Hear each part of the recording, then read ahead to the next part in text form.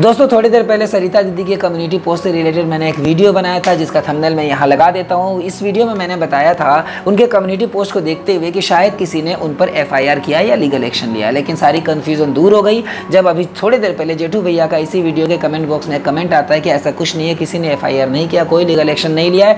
वास्तव में कोई उन्हें डिफेमेशन की धमकी दे रहा था, उन्हें डराने की कोशिश कर रहा था कि हम लीगल एक्शन ले रहे हैं। तो तभी उससे रिलेटेड इन्होंने लिखा है कि जिनको लीगल एक्शन लेना था, उन्होंने ले लिया है। और हमें भी अपनी कानून व्यवस्था पर पूरा भरोसा है। उससे रिलेटेड इन्होंने ये पोस्ट डाला था, जो कहीं ना कहीं समझने में त्रुटि हो गई। वास्तव में ऐसा लगा कि शायद किसी ने ले लिया हो। लेकिन उन्होंने ऐसा लिखा कि वो ले रही है। यहाँ पर रही है, यानी कि वो कहीं ना कहीं किसी फीमेल को रिप्रेजेंट करते हुए बोल रहे कोई एक ऐसी महिला है जो कहीं ना कहीं उन्हें धमकी देने की कोशिश कर रही है। अब कौन है ऐसी महिला है? अब ये कौन निकल कर आ रही है जो कहीं ना कहीं बीच में टांग अड़ाने की कोशिश कर रही है, या फिर वो पहले से ही इसमें इन्वॉल्व है? खैर, जो भी हो, मैं यहाँ पर क्लियर करना चाहूँगा कि उन पर कोई भी एफआईआर किसी भी तरह का लीगल एक्शन नहीं हुआ है। वास्तव में किसी की धमकी की वजह से उन्होंने वो पोस्ट को डाला है, लेकिन हाँ हम ज़रूर जानना चाहेंगे कि वो कौन है। अगर वो मैं भी कोशिश करूँगा कि किससे रिलेटेड वो बातें करना वो बता रहे हैं।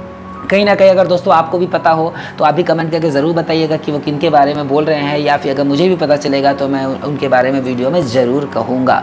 खैर दोस्तों, किसी भी तरह का कोई एफआईआर नहीं हुआ है तो दोस्तों खैर आप इस बात को इग्नोर कीजिएगा और मैं मैं माफ़ी चाहूँगा कि शायद मेरे मिस्टेक की वजह से थोड़ा मतलब मैं गलत समझ लिया, जिसके वजह से मैंने ये वीडियो बना दिया। खैर दोस्तों, किसी भी तरह कोई एफआईआर वगैरह नहीं हुआ, कोई लीगल एक्शन नहीं हुआ है, और ना ही हम चाहते हैं कि भविष्य में ऐसा कुछ हो। तो दोस्तों, मिलते हैं हम अगले वीडियो में, तब तक के लिए थैंक यू सो मच